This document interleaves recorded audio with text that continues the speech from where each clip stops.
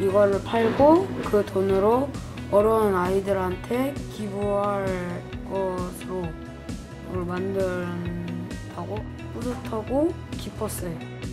인기가 진짜 많았어요.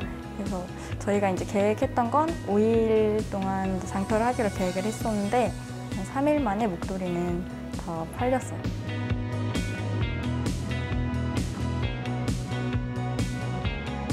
영상은 왜 만든 거예요? 저희가 여기서 물건을 판다는 걸 홍보하기 위해서요.